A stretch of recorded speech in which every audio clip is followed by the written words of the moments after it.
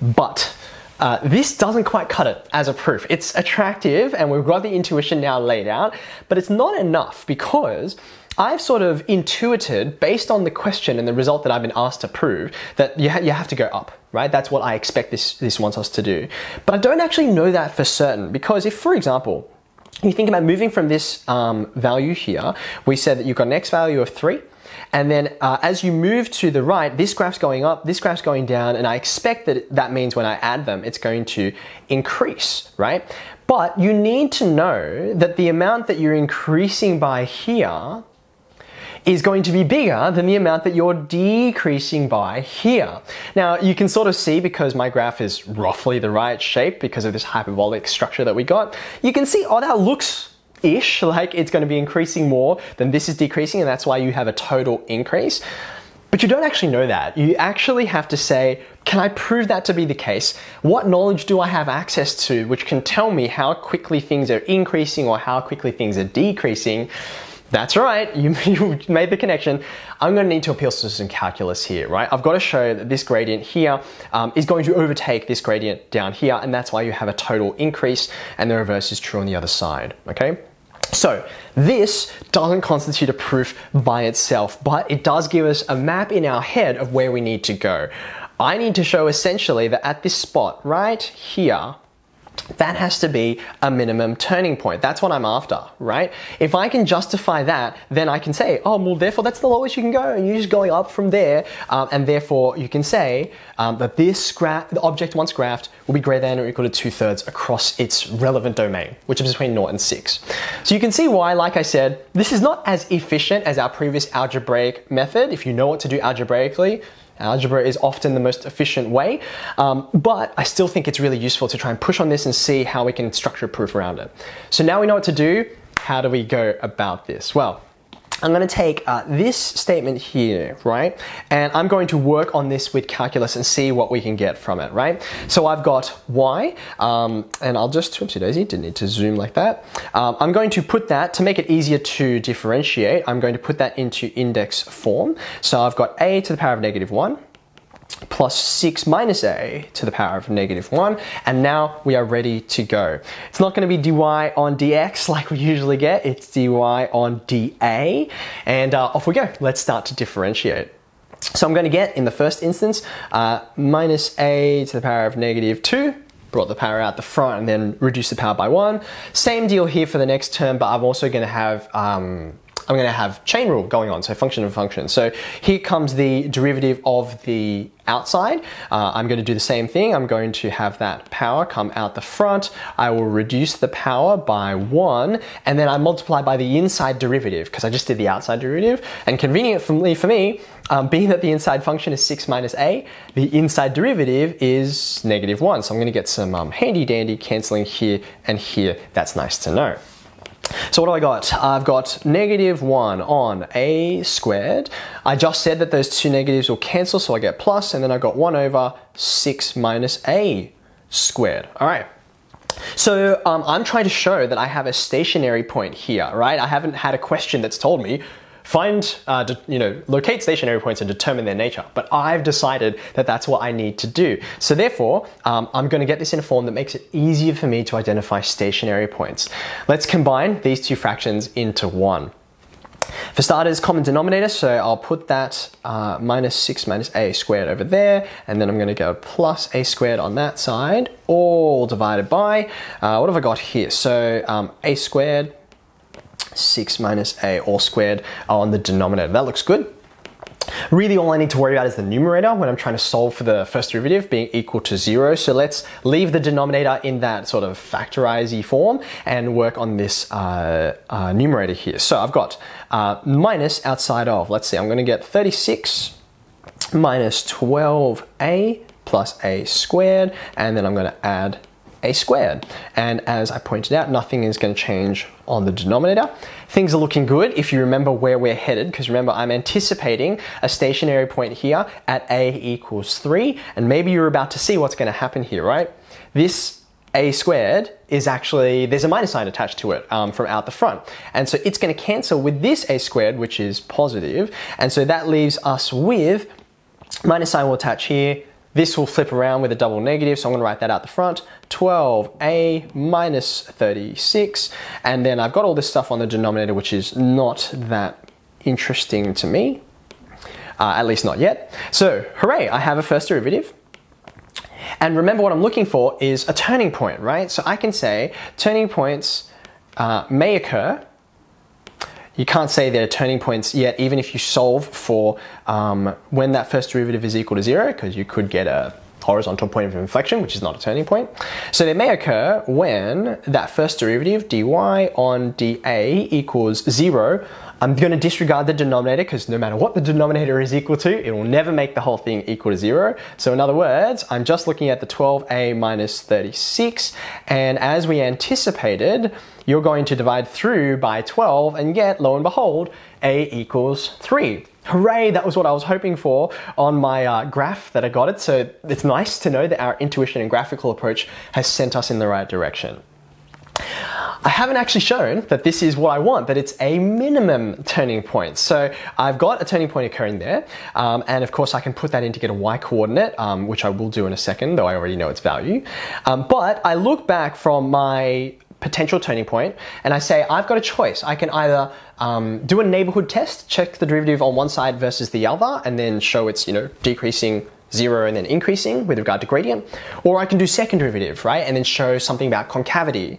When I look at this derivative here, do I want to differentiate this again? And the answer is no thank you. Um, to do quotient rule on this looks like it's going to be more trouble than it's worth, and I think it's going to be fairly easy to do the substitutions. So I'm going to check the neighborhood. So check nearby values, and in this context, um, you know, checking on either side just by one unit. So A equals 2, A equals 4, that should be more than sufficient. So um, A equals 2, what's that going to give us? dy on dA is going to be equal to, when you substitute that in, you're going to get up the top there, 24 take away 36, all divided by, um, let's see, 2 squared is 4, and then 6 minus a is 4, but then that gets squared, so that's going to be 16.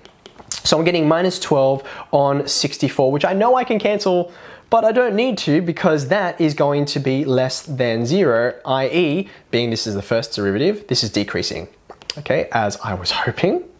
And then I just need to rinse and repeat for the other side of my potential turning point. So I'm going to check A equals 4, and uh, there goes dy on dA.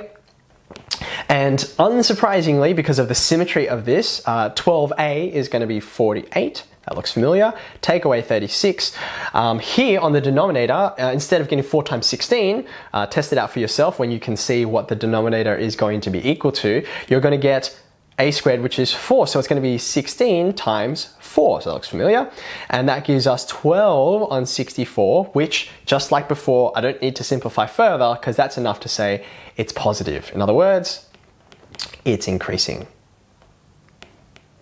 Okay, so what have I got here? Uh, if you want, you can draw yourself a quick table of values. For values of A versus dy on dA, you're getting from 2 to 3 to 4. Um, we had this negative 12, then 0, then 12, so you can clearly see the shape that we were anticipating earlier. So there's the decreasing, zero, and then the increasing. So that's fantastic. So I should tidy this up because that looks a bit messy, doesn't it? There you go. Actually put a table around your table of values. What a novel idea.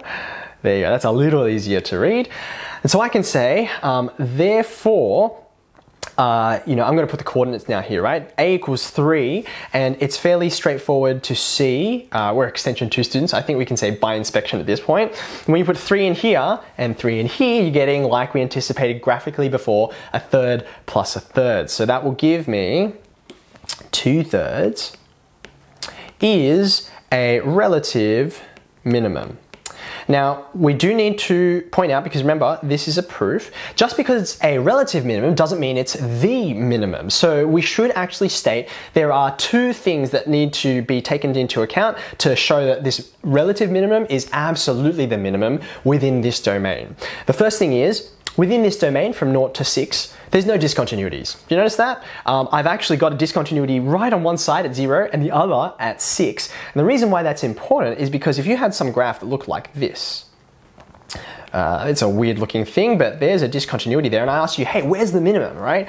You could find by calculus what this location was. You could show that it decreased, then zero, and then increased, but it's not the absolute minimum because this discontinuity means that on the other side, you have no idea what's going on, right? So there's, there's you know, there is no minimum to this function because it just goes down forever. So firstly, you need to say there are no discontinuities. And then secondly, so I'm going to say, but in this domain, from 0 to 6. Um, let's say that before we forget it. Um, the, the function is continuous. Um, the other thing you need to know is that there are no other turning points, right? Because if we were to find some other, like we found a relative minimum, if we found a relative maximum somewhere, what that would imply is that here's the minimum, but then the maximum turns around and that means you can drop even further. Um, you know, this part of the graph is lower than this part of the graph, right? So therefore I need to know there are no other turning points, which I can say off of this solution path here. You see, you've got that linear function on the numerator, only going to have one solution, one zero. So the function is continuous and there are no other uh, turning points. No other stationary points means there's no other turning points in this context. No other turning points. That's what I get for talking and writing at the same time. So therefore, um, it is an absolute minimum as well.